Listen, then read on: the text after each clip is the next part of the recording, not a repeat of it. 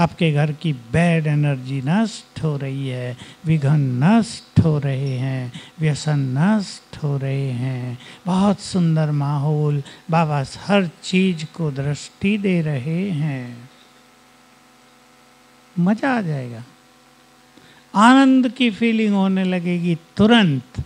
बस एक प्रोग्राम बनाओ, करना है। ये नहीं शाम को सोचें तो भूल गए। लिख के रख देना कहीं ये तीन चार बातें। और इनको करना है। भाई लोग कौन सा सामान लेंगे अपने घरों में? माताएँ तो इस देवी हो गई। भाई लोग इष्ट देव हैं। कौन सा? हनुमान? गणेश? आजकल हनुमान की बड़ी मान्यता बड़े बड़ी स्टैचू बना रहे हैं जहाँ तहाँ। मैं इस घर में एक महान आत्मा हूँ। बहुत गुड फीलिंग के साथ। मैं पूर्वज हूँ। ये दो स्वामान याद रखना। वैसा ही वाइब्रेशंस घर में फैलने लगेगा। व्यवहार वैसा हो जाएगा। लोगों से वैसा ही सम्मान मिलेगा। याद रखेंगे बाबा का महावाक जो आत्माएँ स्वमान में रहती हैं, सम्मान परछाई की तरह उनके पीछे आता है। सभी ध्यान दें। बहने कहें, हमारा पति सम्मान नहीं देता, सुनता नहीं, बच्चे बात नहीं सुनते, भाई कहें, समाज में हमें सम्मान नहीं मिलता। जॉब में लोग हमारी मज़ाक करते हैं, हमारी बात नहीं मानते, स्वान से सब सहज हो जाएगा। करके अनुभव करना है सबको। स्वमान सम्मान का पात्र बना देता है। स्वमान हमारे उसी स्वरूप को जागृत कर देता है। स्वमान पर बहुत ध्यान देना है। अभी हम बाबा का आह्वान करेंगे और आह्वान यहाँ नहीं, आप अपने अपने घरों में बाबा को बुलाएँगे यहाँ से। अब लाल लाइट करो भाई।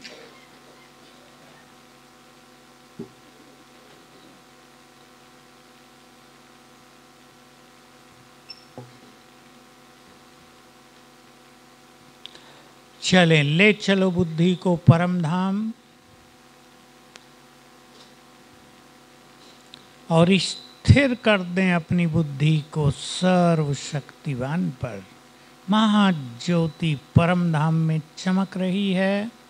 उसकी शक्तियों की अनंत किरणें चारों ओर दूर दूर तक फैल रही हैं।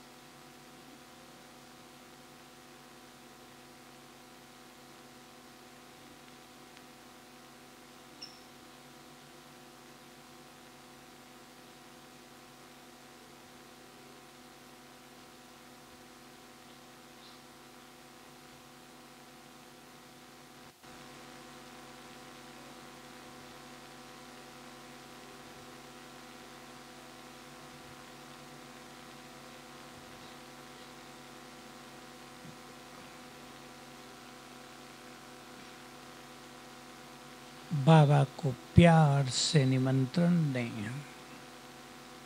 हे सर्वशक्तिवान, मेरे खुदा दोस्त, मन के मीत, हम आपके प्यारे बच्चे आपको बुला रहे हैं।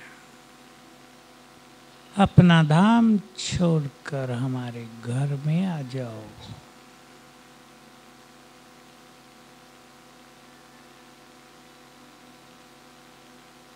हमारा प्यार भरा निमंत्रण सुनकर सर्वशक्तिवान नीचे उतरने लगे।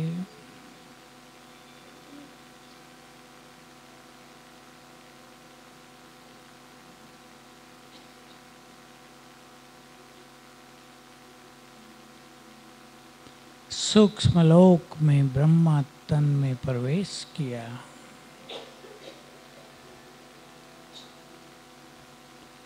अब दोनों नीचे आ रहे हैं।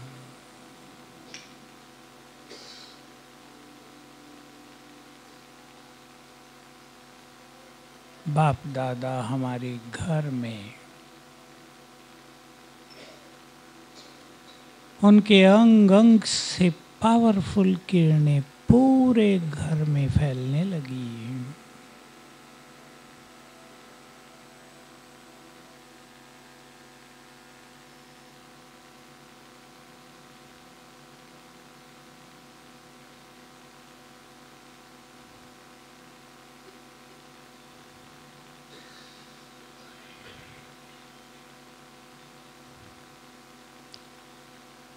बाबा चारों ओर घूमकर सब जगह दृष्टि दे रहे हैं।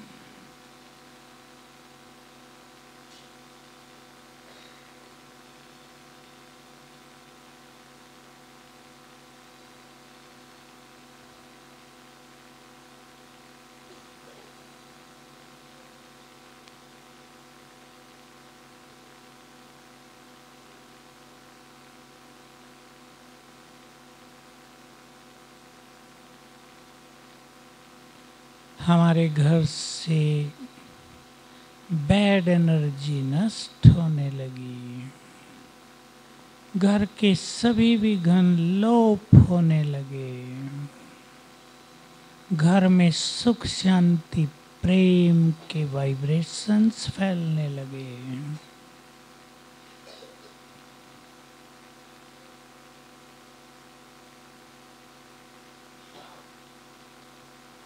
अब मैं बाबा के सामने हूँ।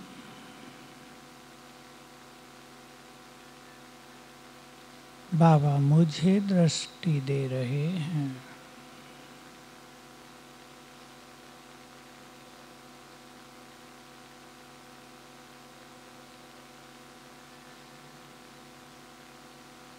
और दृष्टि देखकर बाबा वापिस अपने धाम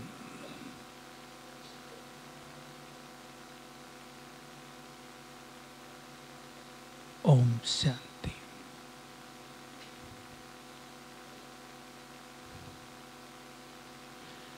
ऐसे बुलाया करेंगे बाबा को। इजी है? इतना भी टाइम ना हो। बाबा, आ जाओ। बस आ गए। इतना ही है। परीक्षा देने गए हैं बच्चे। बाबा, आ जाओ। मदद करना। मदद मिलने लगेगी। पाँच बार करो, सुखद फीलिंग होगी, चित्त शांत होगा।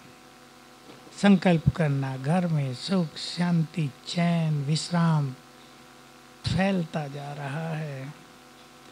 ये भूलना नहीं है कि जैसे संकल्प हम करेंगे वाइब्रेशंस वैसे ही बनेंगे। बाबा का उमावा की याद दिला दूँ, फ़ायदा उठाएँगे सभी उसका। जब भी मुश्किलात आए, क्या कहना? माताएँ कहती नहीं है। इधर वाली तो कहती नहीं। बोलो, पीछे वाले। मेरे बाबा, प्यारे बाबा, आ जाओ, मदद करो। जैसे अपनों को कहा जाता है ना अधिकार से, भक्तों की तरह नहीं। हे भगवान, मदद करो। बहुत दुखी हूँ। ये नहीं, आओ, मदद करो। तुम्हारी ज़रूरत है। तुम नहीं करोगे तो कौन करेगा? तो चौथी लाइन क्या बोली? बाप भी बंधा हुआ है मदद करने के लिए। इससे अच्छी बात क्या हो सकती है? और वो क्या कहे इससे ज़्यादा? सोच लो।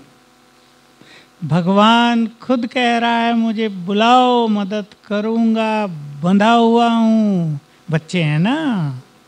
हमारे लिए ही तो आया है। मदद करने ही तो आया है। मदद ले लो। जो मदद लेना जान गए, अनेक बातें जीवन की खत्म हो गई। लो मदद उसकी। जब मदद देने वाला मदद दे रहा है तो लेने वाले क्यों नहीं लेते? बाबा ने बहुत लवली बात कही।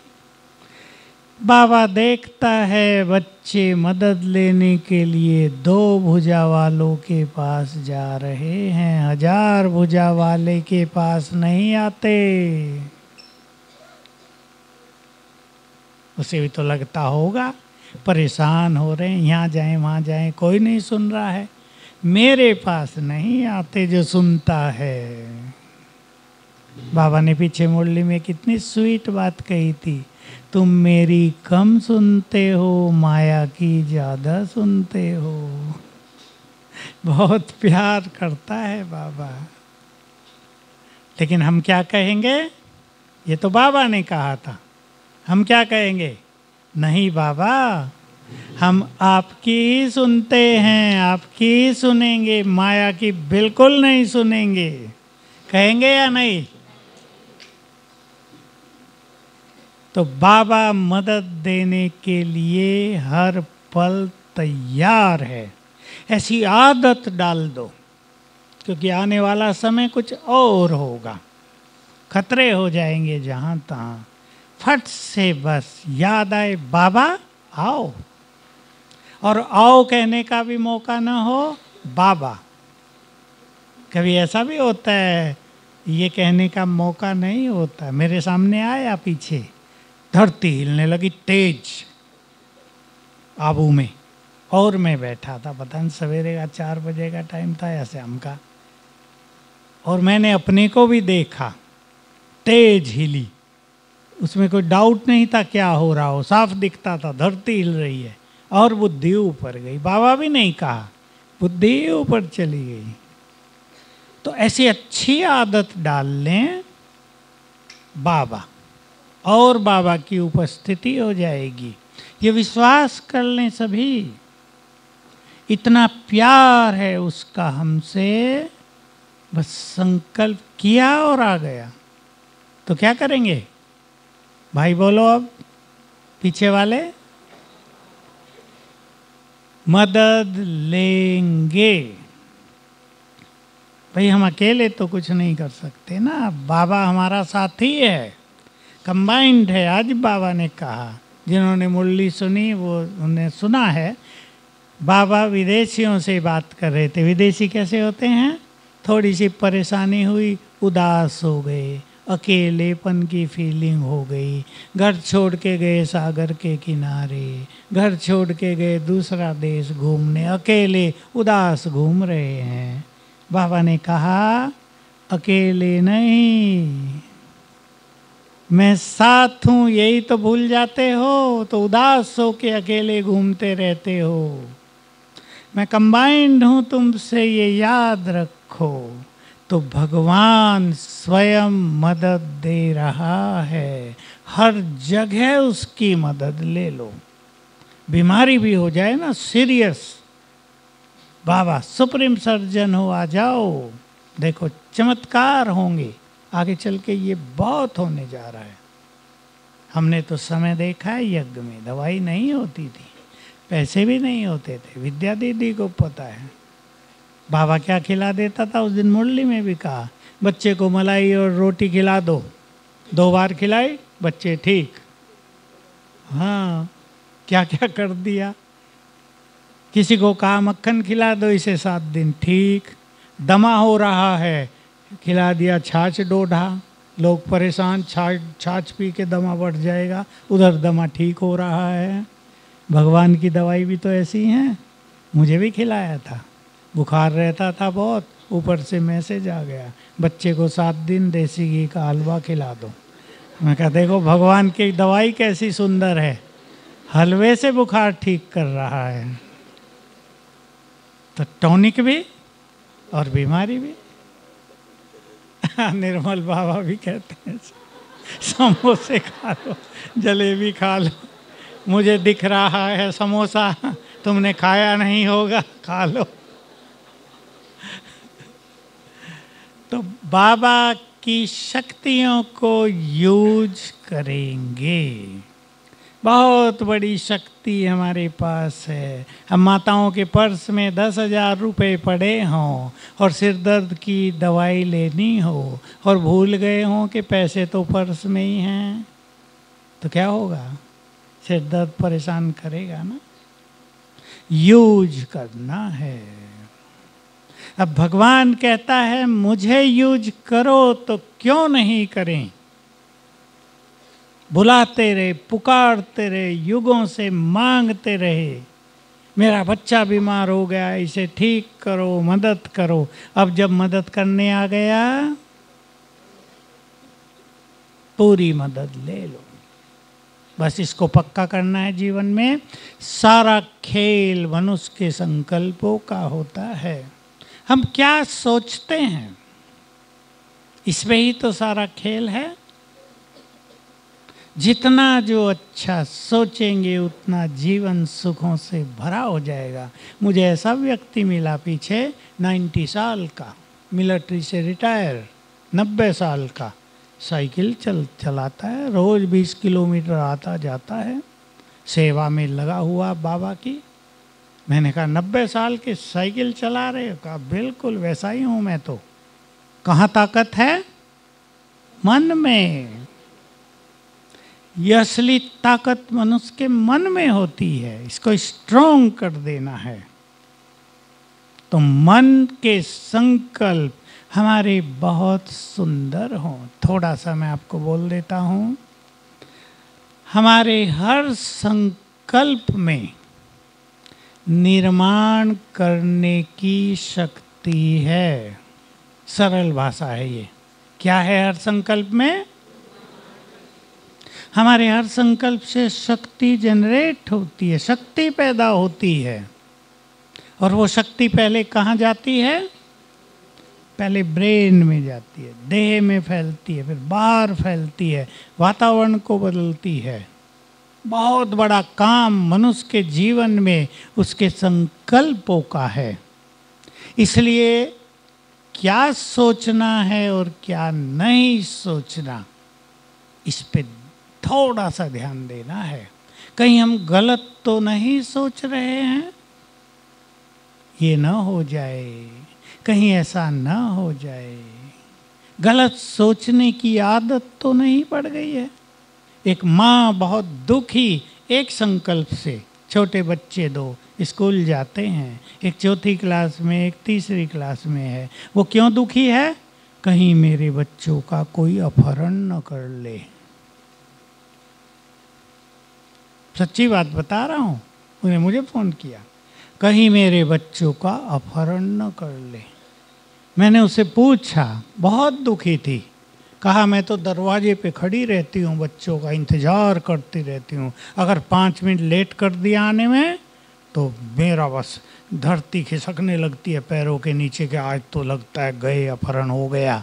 मैंने कहा किसने बताया तुम्हें कि एक दिन अखबार में पढ़ा था? तो मैंने कहा, तुम क्या काम करते हो कि पति नौकरी करता है? मैं घर में रहती हूँ। मैंने कहा, सेठ हो क्या? कि नहीं अगर तुम्हारे बच्चों को उठा के घर से खिलाएँगे? वो उठाने वाले। वो तो किसी ऐसे के उठाएँगे ना, जिसके पास पैसे बहुत हो, पैसा मिले।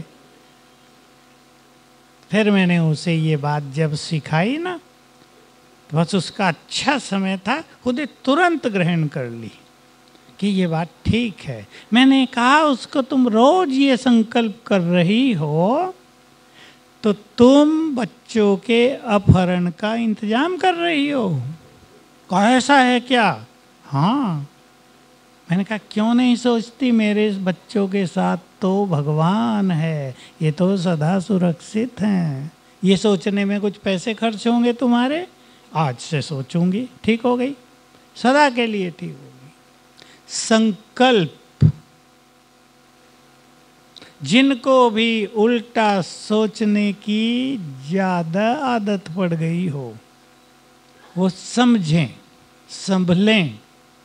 हमारे हर संकल्प में निर्माण शक्ति है। उदाहरण बहुत हैं मेरे पास। एक माता आई, बाबा से मिल ली, कई साल पहले की बात है। चेहरा सूखा हुआ। मैंने कहा, क्यों? बाबा से मिलन का सुख नहीं मिला? कहा, नहीं, मिला तो है। मैंने चेहरा क्यों सूखा हुआ है? कहा, हम पाँच बहनें हैं। तीन को कैंसर हो गया है एक की मृत्यु हो गई मुझे लगता है मुझे भी हो जाएगा। सच्ची सच्ची घटना है ये। मैंने कहा किसने बताया तुम्हें? डॉक्टर ने कहा है हाँ, नहीं तीन को हो गया ना तो हम दोनों को भी होगा। पक्का विश्वास था उसको। फिर मैंने उसको समझाया सात साल से ज्ञान में। मैंने उसको समझाया तुम तो कैंसर का आह्वान कर रही हो। और डर उसके अंदर बहुत ज़्यादा था। आखिर उसको समझा, बुझा के मैंने, मुझे उस पर बड़ी दया आई, अच्छे घर की थी। मैंने समय दिया उसको पाँच सात मिनट और उसको समझा बुझा के तैयार किया, कैंसर तुम्हें नहीं होगा, रिजेक्ट करो। नहीं होगा। तब वो उसके चेहरे पे थोड़ी चमक आई कहा, आप कहते हो ना नहीं होगा तो अब नहीं होगा।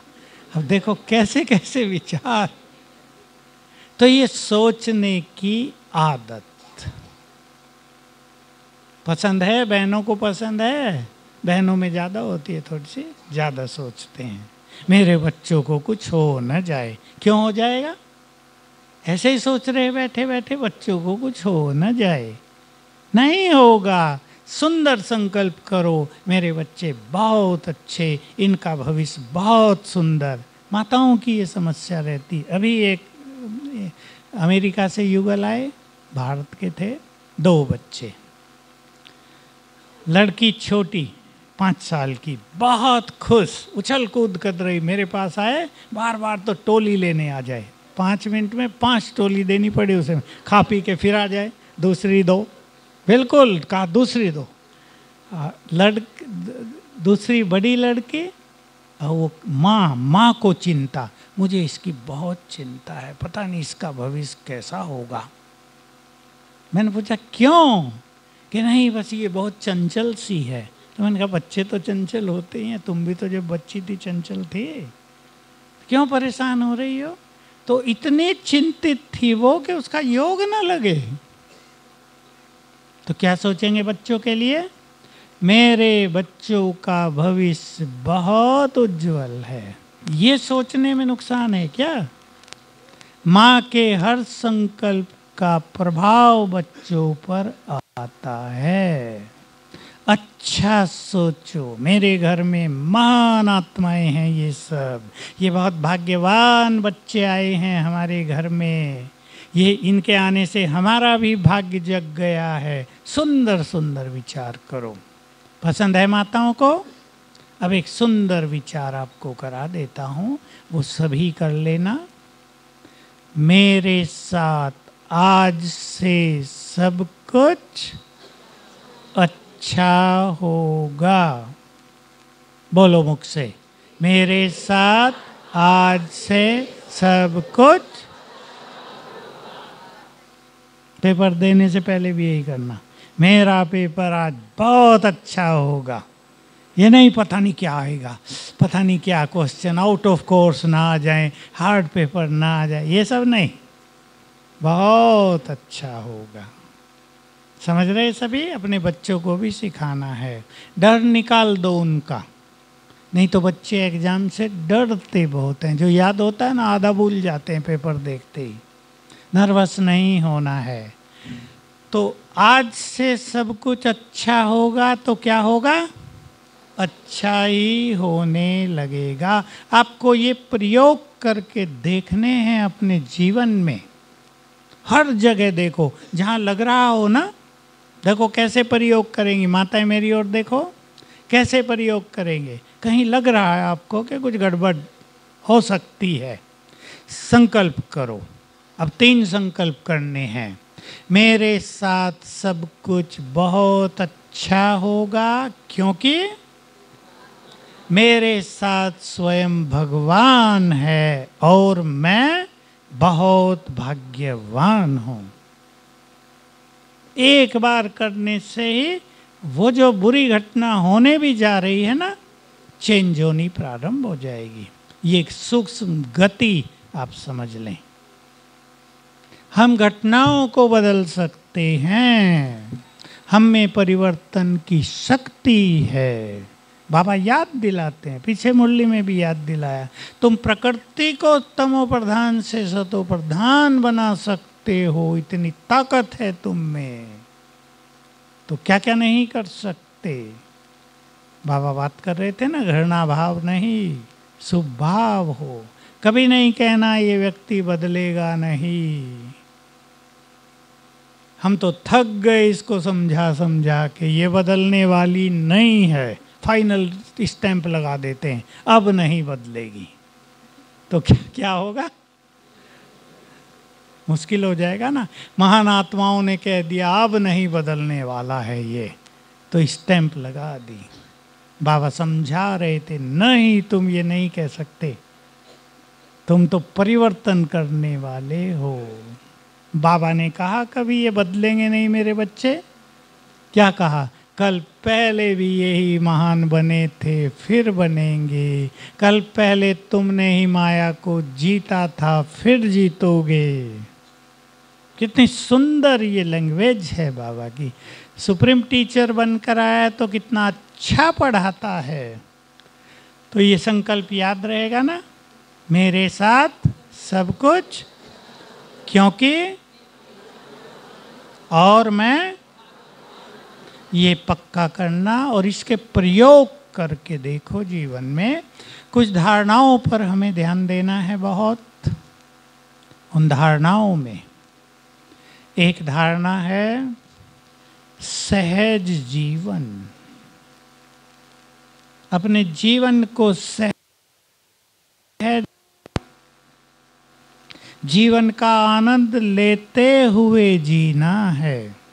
ये सहज भाव से जीना जिसने सीख लिया, समझ लें उसने बहुत बड़ी विद्या प्राप्त कर ली। सहज भाव। और इसके लिए याद रखना है, जैसा हम चाहेंगे वैसा ही सब कुछ नहीं होगा।